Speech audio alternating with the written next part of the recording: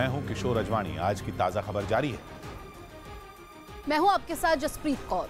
छत्तीसगढ़ की राजधानी रायपुर के एक प्राइवेट स्कूल में एडवेंचर स्पोर्ट्स के समय रस्सी पर छू रही एक छात्रा 25 फीट से नीचे गिरकर घायल हो गई। इस हादसे से ठीक पहले छात्रा की माँ उसकी ट्रेनिंग का वीडियो बना रही थी। लेकिन तभी रस्सी से बंधी सेफ्टी बेल्ट टूट गई और वो लड़की 25 फीट से नीचे गिर गई।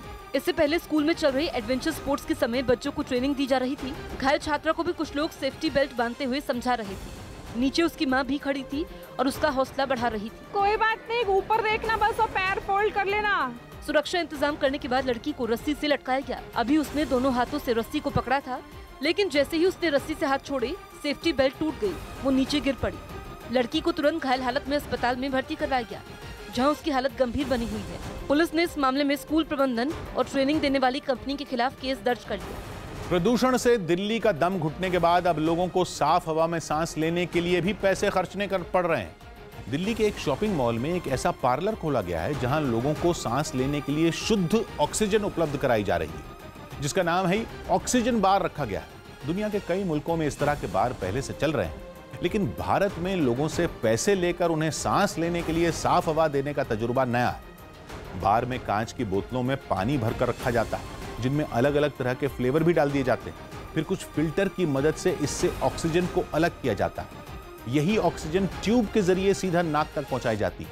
दावा यह किया जाता है कि महज 15 मिनट तक साफ़ ऑक्सीजन में सांस लेने से शरीर को कई फ़ायदे होते हैं। ऑक्सीजन बार है, ऑक्सीजन दे रहा है अरोमा के साथ 15 मिनट के लिए। उसके लिए आप आजकल पोल्यूशन बहुत ज़्यादा हो रहा है। टॉक्सीफाइड होता है टॉक्सीफाइड करता है बॉडी को रिलैक्स वगैरह मिल जाता है और मसल पेन वगैरह भी दूर हो जाता है।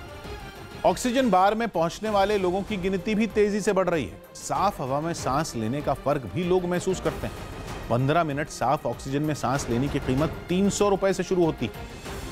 यहाँ पर आकर जितनी देर से भी मैं बैठी हूँ तो बिल्कुल हाँ, ऐसे गले में इरिटेशन खराश फील नहीं हो रहा है। I feel like I am in the middle of a forest now कि मेरे को प्योर ऑक्सीजन यहाँ पे मिल रहा है। बहुत अच्छा रिफ्रेशिंग फील कर रहा हूँ मैं। प्रदूषण का असर लोगों के दिमाग पर इस कदर हावी हुआ है कि लोग ऑक्सीजन के छोटे छोटे कैन भी खरीद रहे हैं। ऑक्सीजन के साथ साथ कुछ ऐसी भी चीज़ें इन्होंने रखी हुई हैं जो कि बहुत ज़्यादा इस वक्त बिक्री हो रही है, जिसकी वो ये है ऑक्सीजन कैंस ये हैं, ये आपको मार्केट में इजीली मिल जाते हैं, लेकिन कई कहना है कि इसकी भी बिक्री जो है पिछले कुछ समय से काफ़ी ज़्यादा बढ़ गई है। मुंबई के पास थाने में नासिक हाईवे पर एक तेज रफ्तार मिनी ट्रक एक पेड़ से टकराकर पलट गया, जिसकी वजह से उसका ड्राइवर और क्लीनर दोनों फंस गए।